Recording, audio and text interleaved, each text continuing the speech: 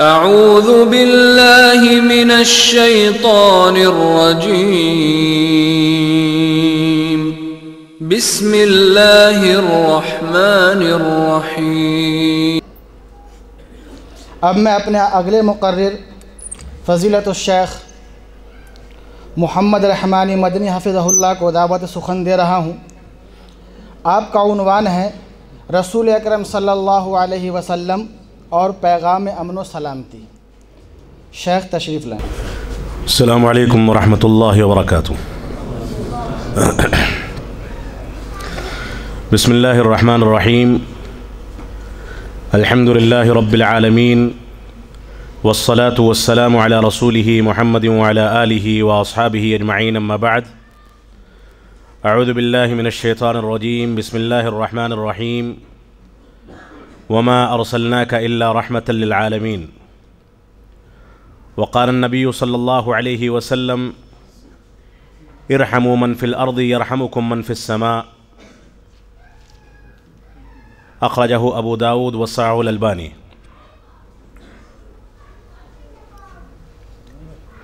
محترم ذمہ داران إجلاس علماء کرام نوجوانان ملت اسلامیہ اور دیگر سامعین۔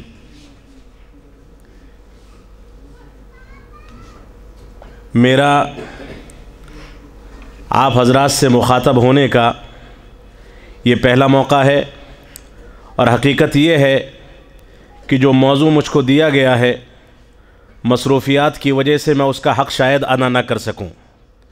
لیکن اللہ رب العالمین کی ذات سے قوی امید ہے کہ قرآن و سنت کی روشنی میں جو باتیں آپ کے سامنے پیش کی جائیں گی، یہ باتیں اللہ رب العالمین کی نصرت و توفیق سے ہمارے لیے اور ہمارے معاشرے کے لیے قابل اطمینان اور باعث برکت ہوں گی۔ اللہ رب العالمین ہم کو اسلام کو اس کے اصل مصادر سے سمجھنے، اسلام کی سچی ترجمانی کرنے اور اسلامی صحیح تعبیرات کو اپنے ذہن و دماغ میں بیٹھانے کی توفیق عطا فرمائے۔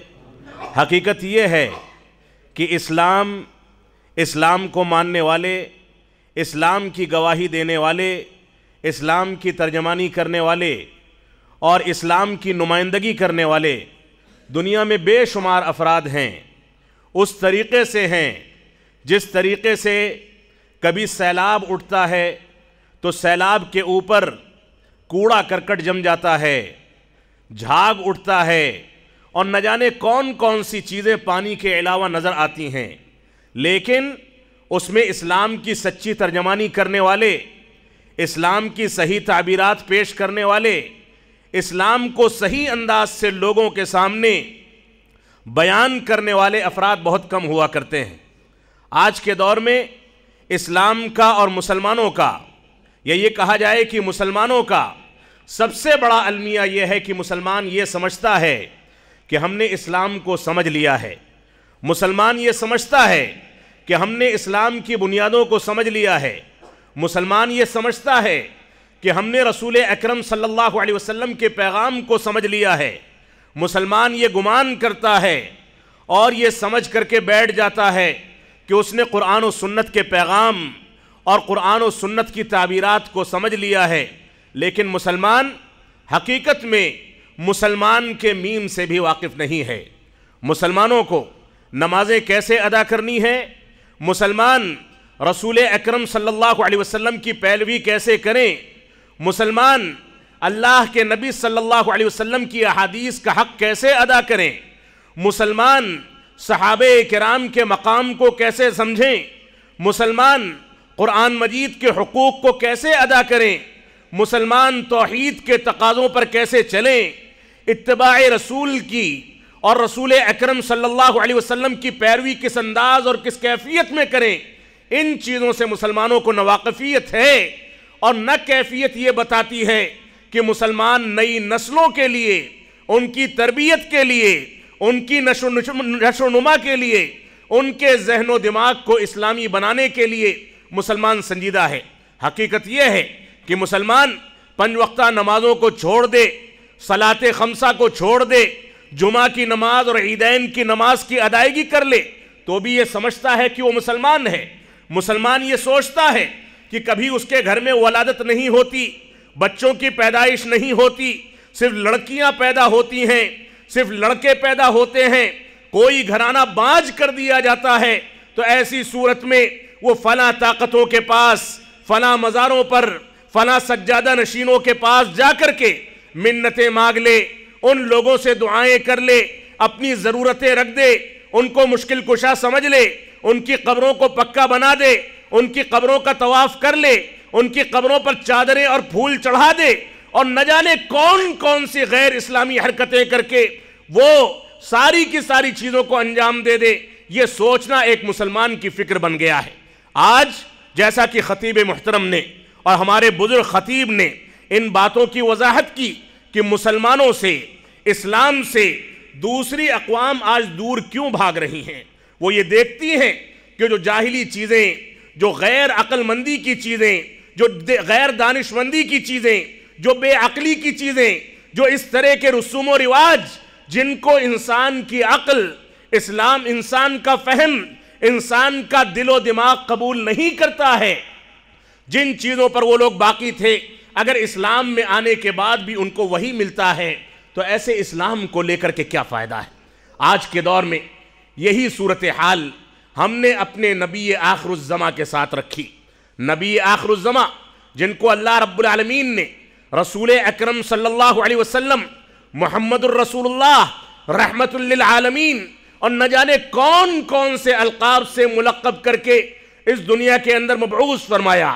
مکہ مکرمہ کی سرزمین کو آپ کی پیدائش کے لیے منتخب کیا گیا۔ غار حرا کو آپ کی بعثت کے لیے منتخب کیا گیا۔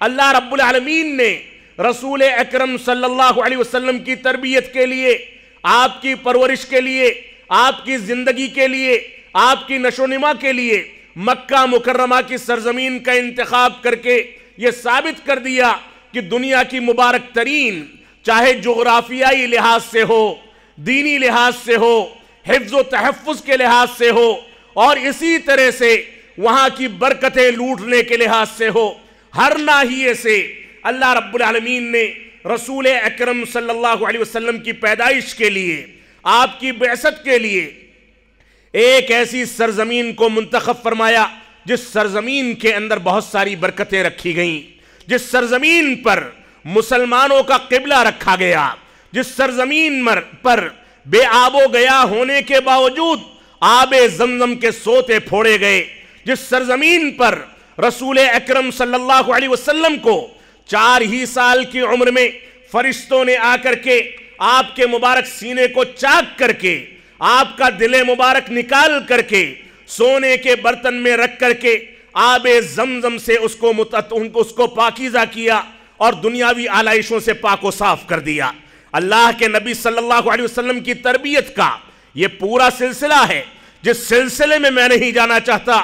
اور بدقسمتی ایسی ہے کہ مسلمان اس تاریخ سے واقف نہیں ہے، مسلمان اس سیرت سے واقف نہیں ہے۔ مسلمان اپنے گھروں میں اپنے بچوں کی تعلیم کے لیے مہنگے سے مہنگے اسکولوں کا انتخاب کر سکتا ہے، لیکن دینی تعلیم کے لیے، دینی تربیت کے لیے بچے کو اگر گھر میں باپ اور بڑا مر جائے، اس کو سلاط جنازہ کی تربیت کے لیے، پنج وقتہ نمازوں کی پابندی کا عادی بنانے کے لیے، قرآن مجید کی تلاوت کرنے کے لیے، قرآن مجید کا فہم پیدا کرنے کے لیے، اسلامی عقائد کو اپنے ذہن و دماغ میں بیٹھانے کا حکم دیا۔ اسی طرح سے اللہ کے نبی صلی اللہ علیہ وسلم نے فرمایا، ابو موسیٰ عشی رضی اللہ تعالیٰ راوی حدیث ہے، کہتے ہیں کہ جب تم میں سے کوئی مجلس سے گزرے، بازار سے گزرے، تو اس کے ہاتھ میں اگر بھالا یا تلوار ہے، تو اس کی نوک کو نیچے کر لے۔ ایسا نہ ہو کہ اس سے کسی کو ٹھوکر لگ جائے اور کوئی زخمی ہو جائے۔ روایت میں ہے، صحیح مسلم کی حدیث ہے۔ بار بار آپ نے فرمایا کہ اپنے اپنے ہتھیار کی نوک کو نیچے کر لو، نیچے کر لو، نیچے کر لو۔ صحابہ اکرام کہتے ہیں کہ ہم جب تک بھی زندہ رہے، ہم نے بازاروں میں، اجتماعات کی جگہوں پر، لوگوں کے ساتھ اٹھنے بیٹھنے میں ان آداب کا بھرپور خیال کیا۔ اسی طرح سے ابو داود کی صحیح روایت ہے۔ اللہ کے نبی صلی اللہ علیہ وسلم ارشاد فرماتے ہیں، لا يحل لمسلم ان يروع مسلما، کہ کسی مسلمان کے لیے بات جائز نہیں ہے، درست نہیں ہے، حلال نہیں ہے، اس بات کی گنجائش نہیں ہے کہ کسی دوسرے مسلمان بھائی کو مذاق میں یا حقیقت میں ڈرانے کا ڈرامہ کرے یا کسی انداز سے ڈرائے۔ اللہ کے نبی صلی اللہ علیہ وسلم نے اس بات سے بھی روک دیا۔ اسی طرح سے اللہ کے نبی صلی اللہ علیہ وسلم نے اشارت فرمایا، شام میں حشام رضی اللہ عنہ کا گزر ہوا۔ دھوپ میں کھڑا کر کے وہ لوگ تیل ڈال کر کے لوگوں کو سزائیں دیا کرتے تھے۔ تو انہوں نے فرمایا، انی سمعت رسول اللہ صلی اللہ علیہ وسلم یقول، ان اللہ یعذب الذین یعذبون فی الدنیا۔ اللہ رب العالمین قیامت کے دن ان لوگوں کو عذاب دے گا جو لوگ دنیا کے اندر لوگوں کو عذاب دیا کرتے تھے۔ اللہ رب العالمین کے حدود کا نفاذ، اسلامی جرائم اسلام کی روشنی میں جن اعمال کو جرم قرار دیا گیا ہے، اس کے گواہ اکٹھا ہو جائیں، اس کے ثبوت مل جائیں، تو قاضی وقت اور حاکم وقت مسلمانوں کے اوپر سزا کے نفاذ کا حکم کرے۔ اس میں کوئی حرج کی بات نہیں ہے، لیکن ایک مسلمان کو دوسرے مسلمان کو ستانے کا اختیار نہیں دیا گیا۔ اور آپ دیکھیں، اللہ کے نبی صلی اللہ علیہ وسلم کے پاس جب ایک صحابیہ آتی ہیں ان سے زنا سرزد ہو گیا تھا۔ آپ دیکھیں، واقعے کو سنیں، غور و فکر کریں، اتنی زیادہ رحم دلی اور اتنی زیادہ دور رسی سے کون سا نبی یا کون سا قائد اس سے، کون سا قائد اس سے کام لے سکتا ہے؟ اللہ کے نبی صلی اللہ علیہ وسلم کے پاس آتی ہیں، کہتی ہیں کہ اللہ کے نبی صلی اللہ علیہ وسلم مجھ سے زنا سرزد ہو گیا ہے، مجھ کو سزا دے دیجیے۔ ایک جانب سے ایک رعایا ہے۔ ایک عام خاتون ہے۔ اس کے دل کی پاکیزگی دیکھے اور نبی آخر الزما کی رحم دلی دیکھے اللہ کے نبی صلی اللہ علیہ وسلم کے مبارک چہرے کے آگے آ کر کے اقرار کرتی ہیں۔ آپ نے چہرہ دوسری طرف پھیر لیا۔ دوسری جانب آتی ہیں۔ پھر سے کہتی ہیں کہ اللہ کے نبی صلی اللہ علیہ وسلم مجھ سے گناہ ہو گیا ہے۔ دنیا کے اندر سزا دے دیں تاکہ آخرت کی سزا سے بچ جاؤں۔ اللہ کے نبی صلی اللہ علیہ وسلم نے پھر سے اپنا مبارک چہرہ پھیر لیا۔ پھر اس جانب آتی ہیں، پھر سے اقرار کرتی ہیں۔ چار اقرار کے بعد اللہ کے نبی صلی اللہ علیہ وسلم شفقت کے ساتھ مخاطب ہوتے ہیں، بیٹھاتے ہیں، کہتے ہیں کہ اگر سزا دے دوں گا تو تمہارے پیٹ میں پلنے والے حمل کا کیا ہوگا؟ بچے کا کیا ہوگا؟ رحم دلی کا یہ عالم تھا۔ جاؤ، اپنے ماں باپ کے ساتھ اپنے سرپرستوں کے ساتھ آرام کی زندگی گزارو۔ جب بچے کی ولادت ہو جائے گی، تب میرے پاس آنا، میں سزا کی تعین کروں گا۔ وہ خاتون اسلام کو دیکھیں، وہ جاتی ہے۔ بچے کی ولادت کے بعد بچے کو گود میں اٹھا کر کے لاتی ہے۔ اللہ کے نبی صلی اللہ علیہ وسلم کو ان کا وعدہ یاد دلاتی ہے اور کہتی ہے کہ اللہ کے نبی صلی اللہ علیہ وسلم مجھ کو سزا دے دیں۔ اللہ کے نبی صلی اللہ علیہ وسلم نے فرمایا کہ نہیں، اس کو دودھ کون پلائے گا؟ اس کی پرورش کون کرے گا؟ اس کی تربیت کون کرے گا؟ اس کو اپنی چھاتی کا دودھ کون پلائے گا؟ جس کے نتیجے میں یہ زندگی گزارے۔ وہ خاتون لے کر کے اللہ کے نبی صلی اللہ علیہ وسلم نے فرمایا کہ جب اناج کھانے لگے، تب لے کر کے آنا۔ خاتون گئی۔ پہلے ہی دن جب دودھ چھوڑا، اناج پکڑا، تو اس کے ہاتھ میں روٹی کا ٹکڑا دے کر کے آپ کی خدمت میں حاضر ہوتی ہے۔ کہتی ہے کہ اللہ کے نبی صلی اللہ علیہ وسلم، میں نے اپنا وعدہ پورا کیا۔ میرے بچے نے اناج کھانا شروع کر دیا ہے۔ اب مجھ کو سزا دے دی جائے۔ اللہ کے نبی صلی اللہ علیہ وسلم نے اس بچے کی ذمہ داری بعض صحابہ اکرام پر ڈالی۔ اس خاتون کے کپڑے کو لپٹوایا۔ اس کو سزا دی۔ یہ صورتحال تھی اسلام کی۔ اسلام کے حدود کے نفاذ کی۔ اللہ کے نبی صلی اللہ علیہ وسلم کی پیروی کی، اللہ کے نبی صلی اللہ علیہ وسلم کی سیرت کی۔ تو اس کیفیت میں ہم کو دین اسلام کو سمجھنا ہوگا، دین اسلام کی پیروی کرنی ہوگی۔ اور ایک روایت میں ذکر کر دوں، جس روایت میں اللہ کے نبی صلی اللہ علیہ وسلم کو حضرت خدیجہ رضی اللہ تعالیٰ نے تسلی دی تھی۔ جب آپ غار حرا میں گئے، پہلی مرتبہ وحی آئی، اللہ کے نبی صلی اللہ علیہ وسلم نے جبریل امین کو ان کی اصل شکل و صورت میں دیکھا تو گھبرا گئے۔ بھاگ کر کے خدیجہ رضی اللہ تعالیٰ کے گھر میں آئے اور کہتے ہیں کہ مجھ کو چادر اڑا دو، مجھ کو سلا دو، مجھ کو ڈر ہے کہ میں اس دنیا میں اپنی زندگی کو ہلاک کر دوں گا۔ مجھ کو ڈر ہے کہ میں ہلاک ہو جاؤں گا۔ تو اماں خدیجہ رضی اللہ تعالیٰ نے ان سے جو باتیں کہیں تھیں، ان باتوں کو غور کرنے کے بعد بھی کوئی ہمارے نبی پر شدت پسندی کا اتحام لگائے تو اس کے عقل و شعور پر جتنا ماتم کیا جائے کم ہے۔ انہوں نے فرمایا تھا واللہ لا یخزیک اللہ ابدا۔ اللہ کی قسم، اللہ رب العالمین آپ کو ذلیل نہیں کرے گا، آپ کو رسوا نہیں کرے گا۔ انکا لتصل الرحم۔ آپ تو رشتہ داریوں کو جوڑتے ہیں۔ آپ کی ایک صفت نبی بنائے جانے سے پہلے کی صفت۔ یہ ہے کہ آپ رشتہ داریوں کو جوڑتے ہیں، وہ تصدق الحدیث، اور اسی طرح سے جو مطالبات آپ سے کیے جاتے ہیں، اس کی جانچ اور پرک کے بعد ان باتوں کی تصدیق کرتے ہیں۔ وہ تحمل الکل، اور دوسروں کا بوجھ اٹھاتے ہیں، اور دوسروں کا بوجھ اٹھا کر کے ان کی ضرورتوں کو پورا کرتے ہیں۔ وہ تقسیب المعدوم، اور اسی طرح سے بے روزگاروں کا بے روزگاروں کا بوجھ اٹھا کر کے ان لوگوں کی ضرورتوں کو پورا کرتے ہیں۔ وہ تقریب ویف اور آپ مہمان نوازی کرتے ہیں۔ ان صفات کے حاملین کو اللہ رب العالمین کبھی بھی ضائع نہیں کرے گا۔ یہ پانچ صفتیں رسول اکرم صلی اللہ علیہ وسلم کے بارے میں بتائی گئیں۔ اور اس کے بعد فرمایا گیا وہ تعین علی نوائب الحق اور مخلوقات پہ آنے والی مصائب میں آپ ان لوگوں کا تعاون کرتے ہیں۔ یتیم اور بیوہ عورتوں اور یتیم بچوں اور غریب لوگوں کا ساتھ دیتے ہیں۔ آپ کا تو یہ عالم ہے کہ یتیم بچے مدینہ کی گلیوں میں آپ کی انگلیاں پکڑ لیتے ہیں اور اپنی ضرورتوں کے لیے اپنے گھروں میں لے کر کے گھس جاتے ہیں۔ یتیم بچوں سے، بیواؤں سے، غریبوں سے آپ یہ نہیں پوچھتے کہ تم لوگ کہاں لے کر کے جا رہے ہو۔ بڑے آرام کے ساتھ ان کے راستے پر چل جاتے ہیں اور یہی وجہ ہے کہ جب حبش کے بادشاہ نے صحابہ کرام سے پوچھا تھا کہ اس نبی نبوت کا دعوے کرنے والے کے بارے میں بتاؤ کہ اس کی صفات کیا ہیں، وہ غریبوں کے ساتھ اٹھتا بیٹھتا ہے، ان کی باتوں کو سنتا ہے، کس انداز کا تعامل کرتا ہے، تو ان صفات کو سن کر کے اس نے اللہ کے نبی صلی اللہ علیہ وسلم پر ایمان لانے کا اعلان کیا تھا۔ اس فطری زندگی کو گزارنے والا نبی کبھی بھی نبی یہ غیر حق نہیں ہو سکتا، بلکہ وہ نبی یہ برحق ہے، نبی یہ فطرت ہے اور نبی یہ اسلام ہے اور اس نے انسانیت کا درز دیا ہے۔ اللہ رب العالمین ہم کو ان صفات کا حامل بن کے صحیح انداز سے قرآن و سنت کی پیروی کرنے کی توفیق عطا فرمائے۔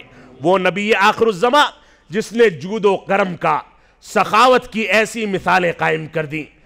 جیسی مثالیں دنیا کی کوئی طاقت قائم نہیں کر سکتی اس کے پاس کوئی مسلمان آئے یا غیر مسلم آئے، اس کے پاس کوئی بھی آ جائے، جب صفوان بن امیہ اللہ کے نبی صلی اللہ علیہ وسلم کی خدمت میں آئے، تو آپ نے ان کو سو بکریاں عنایت کر دی ان کی ضرورتیں پوری کر دیں، اور اس کے بعد دوبارہ مانگا تو پھر سے سو بکریاں دیں، پھر سے مانگا تو پھر سے نوازا، اور اس کے بعد وہ کہتے ہیں واللہ لقد آتانی رسول اللہ صلی اللہ علیہ وسلم ما آتانی اللہ کی قسم، اللہ کے نبی صلی اللہ علیہ وسلم نے مجھ کو جو کچھ دیا ہے وہ تو دیا ہے، لیکن آج سے پہلے میں لوگوں میں سب سے زیادہ نفرت اس نبی سے کرتا تھا، لیکن آج کے بعد سے اس نبی سے سب سے زیادہ محبت کرتا ہوں۔ کفر کے عالم میں آئے تھے، اسلام کے دشمن تھے اللہ کے نبی صلی اللہ علیہ وسلم کو ستانے کے وسائل اختیار کرتے تھے۔ اس کے باوجود نواز دیا گیا۔ تو جود و کرم کا اور سخاوت و کرم کا یہ عالم تھا کہ اللہ کے نبی صلی اللہ علیہ وسلم کسی کو کبھی مایوس کر کر کے واپس نہیں کرتے تھے۔ عفو درگزر کا یہ عالم تھا کہ زانیہ عورت کے بارے میں آپ نے اس انداز کا وطیرہ اختیار کیا جو وطیرہ میں نے آپ کے سامنے بیان کیا۔ صبر کا یہ عالم تھا کہ اللہ کے نبی صلی اللہ علیہ وسلم کو شعب ابی طالب میں بند کر کے رکھا گیا، کچھے اور سوکھے پتے چبانے پر مجبور کر دیا گیا۔ اس کے باوجود آپ نے بد دعا نہیں فرمائی۔ اس کے باوجود آپ نے کفار و مشرقین مکہ کے خلاف اللہ رب العالمین کو اس بات پر آمادہ کرنے کی کوشش نہیں کی کہ ان لوگوں کو دو پہاڑیوں کے بیچ میں پیس دیا جائے، بلکہ فرمایا انہی میں سے ایسے قائدین، ایسی شخصیتیں اٹھیں گی جو شخصیتیں آگے چل کر کے اسلام کی سپہ سالاری کریں گی، اسلام کا نام روشن کریں گی، اسلام کی شخصیتوں کے نام سے یاد کی جائیں گی، ایک تاریخ رقم کریں گی اور آگے آنے والے دور نے اس بات کی گواہی دی۔ تو اللہ کے نبی صلی اللہ علیہ وسلم صبر و تحمل سے کام لیتے تھے۔ آپ کی مبارک پیٹھ پر اوجڑیاں ڈالی گئیں۔ آپ کی مبارک گردن میں چادریں ڈال کر کے، اس کو لپیٹ کر کے آپ کو گھسیٹا گیا۔ آپ کے خلاف سازشیں کی گئیں۔ آپ کا جینا دوبر کر دیا گیا۔ اس کے باوجود جب مکہ مکرمہ میں داخل ہوتے ہیں، تو آپ فرماتے ہیں، جو فلاں کے گھر میں داخل ہو جائے، اس کے ساتھ چھیڑ چھاڑ نہیں کی جائے گی۔ جو فلاں جگہ پر پناہ لے لے، اس کے ساتھ چھیڑ چھاڑ نہیں کی جائے گی۔ اس کو معاف کیا جاتا ہے۔ جن لوگوں نے اللہ کے نبی صلی اللہ علیہ وسلم کی جائیدادیں ہڑپ کر لیں، صحابہ کرام کا جینا دوبر کر دیا، اللہ کے نبی صلی اللہ علیہ وسلم کے اوپر پتھر پھینکے، آپ کو قتل کرنے کی سازشیں کی، آپ کی ہجرت کو روکنے کی کوشش کی، آپ کے خلاف پورے جتن کیے، انہی لوگوں کے لیے عام معافی کا اعلان کر دیا جاتا ہے۔ یہ اللہ کے نبی صلی اللہ علیہ وسلم کا صبر تھا، آپ کا عفو درگزر تھا۔ اسی طرح سے انصاف کا یہ عالم تھا کہ اللہ کے نبی صلی اللہ علیہ وسلم فرماتے ہیں، جب ایک غامدیہ خاتون کا واقعہ پیش آیا، ایک صحابی رسول کو بھیجا گیا کہ بڑے خاندان کی ہیں، اونچے گھرانے کی ہیں، پیسے والے افراد ہیں، ان کے یہاں فراوانی ہے اس خاتون کے بارے میں سفارش کر دی جائے کہ اللہ کے نبی صلی اللہ علیہ وسلم اس کو چھوڑ دیں، اس کا ہاتھ نہ کاٹا جائے۔ تو اللہ کے نبی صلی اللہ علیہ وسلم نے فرمایا کہ اللہ کی قسم، تم سے پہلے جو قومیں تھیں، وہ قومیں اسی وجہ سے تباہ و برباد ہو گئیں کہ ان میں کا کوئی اونچا انسان، کوئی بڑے خاندان کا انسان، کوئی شریف انسان اگر جرم کرتا تھا تو اس کو چھوڑ دیا جاتا تھا، کوئی غریب انسان اگر کسی انداز کا جرم کیا کرتا تھا تو اس کو سزائیں دی جاتی تھیں۔ اللہ کی قسم، اگر میری بیٹی فاطمہ بھی چوری کر لے تو میں اس کا ہاتھ بھی اپنے ہاتھ سے کاٹوں گا۔ یہ انصاف تھا، یہ عدل و انصاف تھا ہمارے نبی آخر الزما کا کہ وہاں بہن، بھائی، بیٹے، ماں باپ اور خاندان کے افراد نہیں دیکھے جاتے تھے۔ وہاں اسلام کا نظام دیکھا جاتا تھا۔ اللہ کے نبی صلی اللہ علیہ وسلم کی ایک صفت یہ بھی تھی کہ آپ توازو اختیار کرتے تھے، اپنا کپڑا خود سلا کرتے تھے، اپنا جوتا خود صحیح کر لیا کرتے تھے۔ عائشہ رضی اللہ تعالیٰ کے ساتھ دوڑ کا مقابلہ کیا کرتے تھے۔ اور آپ کے سامنے جب ایک آدمی آیا اور ڈر کی وجہ سے اس کے گوشت اور پھٹے کانپ رہے تھے۔ گھبرا گیا تھا۔ اللہ کے نبی صلی اللہ علیہ وسلم نے اس سے فرمایا کہ سکون اختیار کرو۔ اطمینان سے کام لو۔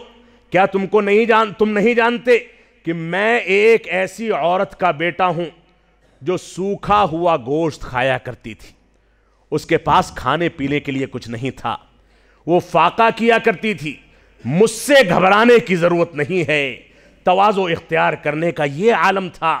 اللہ کے نبی صلی اللہ علیہ وسلم کا۔ اللہ رب العالمین ہم کو اسلام کے نظام عدل کو سمجھنے کی، نظام امن و سلامتی کو سمجھنے کی، زمین پر فساد پھیلانے سے متعلق۔ اسلام نے جو سختی اختیار کی، اسلامی قواعد میں ضرر اور نقصان پہنچانے کے بارے میں جو قواعد ذکر کیے گئے، اسی طرح سے خودکشی کو اور مظاہروں کو، لوگوں کے امن و سلامتی کو خراب کرنے کو حرام کیا گیا، معصوم کی جان لینے کو حرام کیا گیا، اسلام نے رحمت کا حکم دیا، ہتھیار اٹھانے کو ممنوع قرار دیا، مسلمان کی جانب اشارہ کرنے کو ہتھیار کے لیے حرام قرار دیا، خیانت اور دھوکہ دھڑی کو حرام قرار دیا عورتوں اور بچوں کے قتل کو حرام قرار دیا، عہد و پیمان کے توڑنے کو حرام قرار دیا، رات کے وقت میں دشمنوں پر حملہ کرنے کو حرام قرار دیا۔ یہاں تک فرمایا کہ فجر تک آرام کرو اور اس کے بعد دیکھو کہ بستی سے اگر اذان کی آواز آ جائے تو درگزر کر کے نماز پڑھ کے نکل جاؤ۔ یہ ساری کی ساری تعلیمات اسلام کے امن و سلامتی کی تعلیمات ہیں۔ اللہ رب العالمین ہم کو قرآن و سنت کے مطابق اسلام کی سچی تعبیرات پیش کرنے کی توفیق عطا فرمائے۔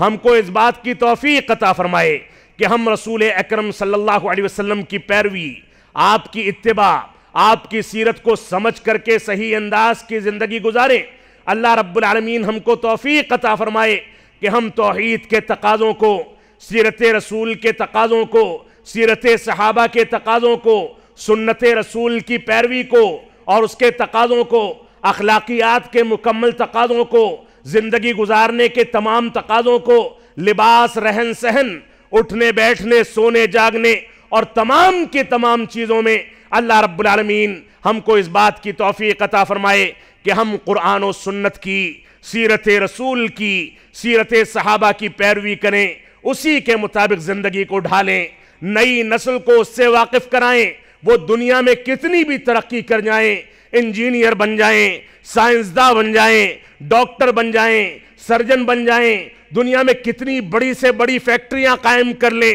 لیکن ان کے سامنے یہ حقیقت ہو کہ جب اذان کا وقت ہوتا ہے تو سارا کاروبار چھوڑ کر کے صرف ایک کاروبار رچایا جاتا ہے جو شکر گزاری کا کاروبار ہے۔ رب کائنات کی توحید کی تنفیذ کا کاروبار ہے۔ رب کائنات کے نبی آخر الزما کی پیروی کا کاروبار ہے۔ قال اللہ اور قال الرسول کی صداؤں کا کاروبار ہے۔ وہ اس بات کو سمجھیں کہ رب کائنات کے حقوق کیا ہیں؟ ماں باپ کا مقام کیا ہے؟ بڑوں کا احترام کیا ہے؟ چھوٹوں پر شفقت کیا ہے؟ بڑوں کا اور خاندان کی تربیت کیا ہے؟ باپ مر جائے تو سلاط جنازہ پڑھانے کا طریقہ کیا ہے؟ گھروں کے اندر چنے گنے جائیں یا گھروں کے اندر صدقہ جاریہ کا اہتمام کیا جائے؟ اس بارے میں وہ فرق کر سکیں، امتیاز کر سکیں ہماری نئی نسل کو اسلام کی تعلیمات سے جب تک ہم اس انداز سے واقف نہیں کرائیں گے، جب تک عزت و وقار کی زندگی، عزت و احترام کی زندگی ہم کو نہیں ملنے والی۔ اللہ رب العالمین ہم کو ان باتوں کی توفیق عطا فرمائے۔ ہم جب تک جئیں، تب تک اسلام پر جئیں۔ جب ہمارا خاتمہ ہوتی ایمان پر ہو۔ وصلی اللہ علی نبینا محمد وعلی آلہ وصحبہ وسلم۔ والسلام علیکم جزاک اللہ خیر السلام علیکم۔ آپ حضرات نے آج کی اس مجلس میں ہمارے دونوں خطبہ سے عقید توحید اور رسول اکرم صلی اللہ علیہ وسلم کے پیغام امن و سلامتی کے بارے میں بہت کچھ قیمتی باتیں سنی ہیں۔ اللہ تعالیٰ سے دعا ہے کہ اللہ تعالیٰ ہم سب کو ان باتوں پر عمل کرنے کی توفیق عطا فرمائے۔ میں آپ تمام حضرات کا شکر گزار ہوں کہ آپ حضرات ہماری دعوت پر تشریف لائے اور اپنے ساتھیوں کی طرف سے جمعیت تحلیدی صوبہ دلی کی طرف سے، اپنے محترم شیخ رضا اللہ صاحب اور عزیز محترم شیخ محمد رحمانی صاحب کا بے حد شکر گزار ہوں کہ ان دونوں حضرات نے اپنی مصروفیات میں سے وقت نکال کر یہاں تشریف لائے۔ اللہ تعالیٰ ان حضرات کو جزائے خیر عطا فرمائے اور صحت و عافیت سے رکھے اور اللہ ہم سب کی حفاظت فرمائے۔ اس اختتامی کلمات کے ساتھ آج کے اس جلسے کی کے ختم کا اعلان کیا جاتا ہے۔ اللہ تعالیٰ ہم سب کی حفاظت فرمائے اور ہمیں جب تک زندہ رکھے تو اسلام پر زندہ رکھے۔ زندہ رہیں تو اسلامی تعلیمات کے مطابق زندہ رہیں۔ اللہ تعالیٰ ہم سب کی اس سعی کو قبول فرمائے اور ہمارے گناہوں کو، خطاؤں کو معاف فرمائے، درگزر فرمائے۔ میں شکر گزار ہوں علاقے کے احباب کا اور ان حضرات کا خاص طور پر جنہوں نے اس مجلس کو سجایا اور اس جلسے کی ذمہ داریاں اپنے کندھوں پر لیں۔ اللہ تعالیٰ ان کی، کے کاروبار میں، ان کے بچوں میں، ان کے گھروں میں برکتیں اور رحمتیں نازل فرمائے اور سب کو صحت و عافیت کے ساتھ رکھے۔ اللہ بیماروں کو صحت و عافیت کے ساتھ رکھے اور شفائے کلی عطا فرمائے۔ واخر دعوانا ان الحمد للہ رب العالمین۔